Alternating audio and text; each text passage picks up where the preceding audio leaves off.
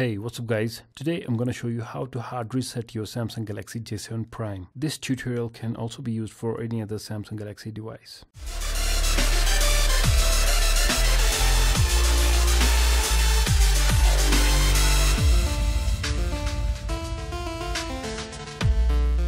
Now to hard reset your device, you'll need to switch off the device first.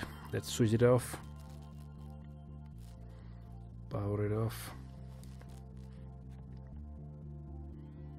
Now you'll need to turn on the device in the recovery mode.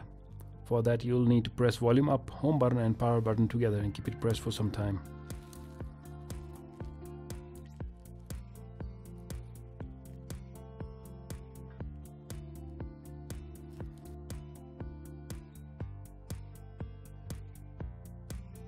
So this is the recovery mode. Here in the recovery mode, first of all, you'll need to wipe cache partition. Use volume keys to navigate and to select it press the power button and press yes. Now for hard reset you'll need to navigate down to wipe data factory reset.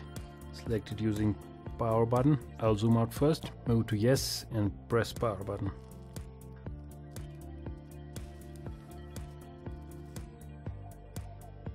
Okay, data wipe has been complete. Now you'll need to reboot the system now. Press the power button. The phone will reboot and it will take some time as it is booting for the first time so I'll quickly move forward with it.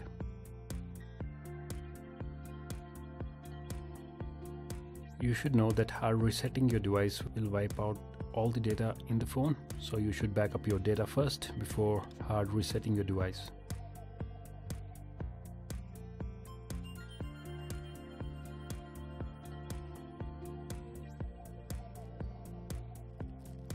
Okay, welcome.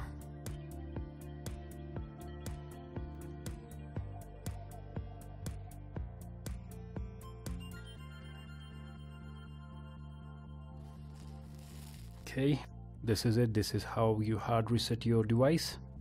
If this video helped you then don't forget to hit the thumbs up at the bottom of the video. For more videos like this one subscribe to my channel. That's it for now. I'll catch you guys later